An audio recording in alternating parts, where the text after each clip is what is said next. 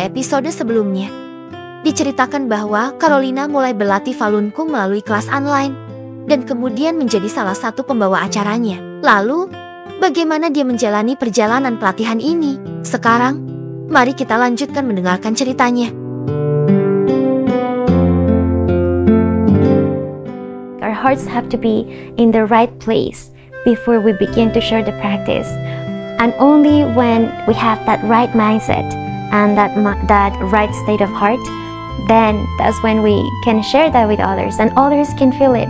We have meetings, get feedback from each other. We try to get feedback from the exercise demonstrators. And we create an environment in which we want each other to thrive, to give the best to our attendees. When Master Lee taught the practice, he did it in a selfless manner. He gave his time, he gave so much of him to benefit people.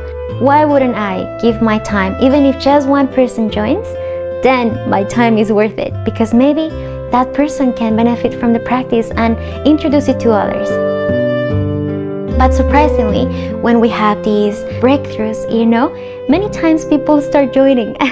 so I understand that the outside is going to reflect the change that you did it within. Tantangan lainnya adalah menemukan waktu untuk mengajar online. Dia merasa senang karena terus mendapat dorongan dan dukungan tanpa pamrih dari timnya.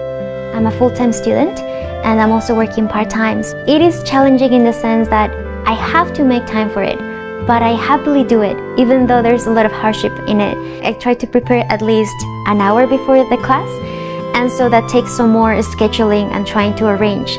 Even with my family, it takes lots of communication to tell them how important it is to me. Yang membuatnya merasa terhibur adalah dukungan keluarganya terhadap Falun Gong dan dia terus mendapatkan dorongan dan dukungan dari timnya. The team members were really always so supportive. They always gave me feedback on how to improve what I could say better.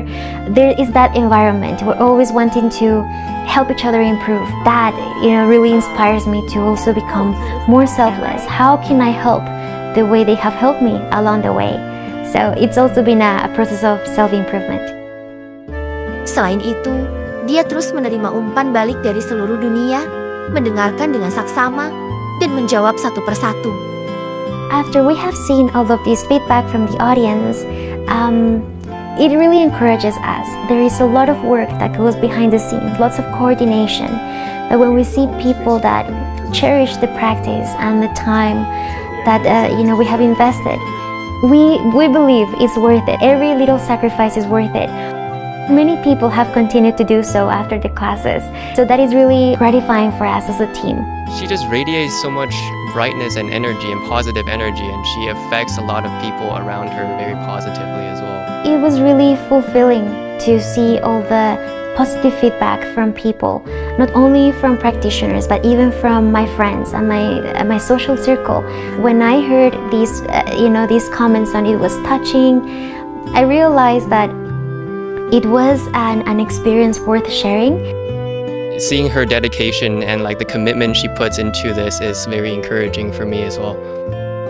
Bertepatan dengan Hari Falun Gong pada 13 Mei, Carolina mengungkapkan rasa terima kasihnya yang paling tulus. I would like to thank Master Lee for teaching us this practice. As one of the class attendees said, this is one of the greatest gifts to humanity. On the occasion of May 13, I would like to wish Master Lee a happy birthday. Thank you, Master.